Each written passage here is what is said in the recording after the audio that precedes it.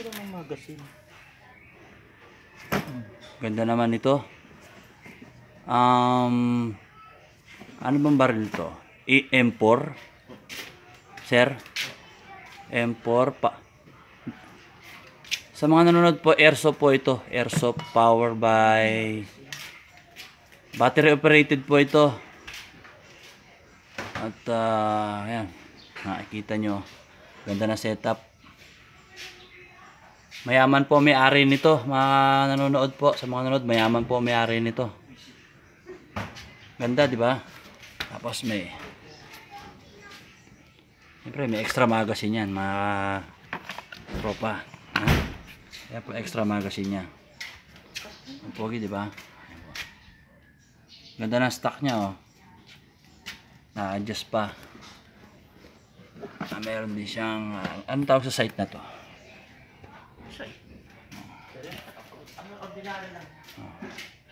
Sabi po na may-ari, ordinary lang daw. Ayan. Ayan po. Pilip- Pilipino po may-ari niyan sa mga nanonood. Sana po i-share nyo at ah, don't forget to subscribe na rin. Diba sa comment kung anong gusto nyong gawin pa natin. Okay? May telescope pa siya. Nilabasan tayo ng telescope.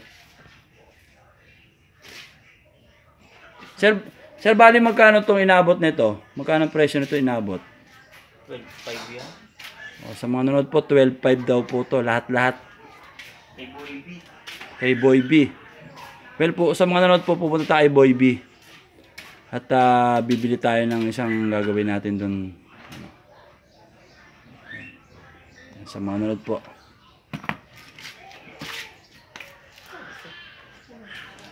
Sa, nakik- sa mga nanonood po, nakikita nyo merong bilog na may sticker yan. Tsaka ako na lang po sasabihin kung ano yan. Napakahalaga po niyan. Anting-anting po yan. Thank you.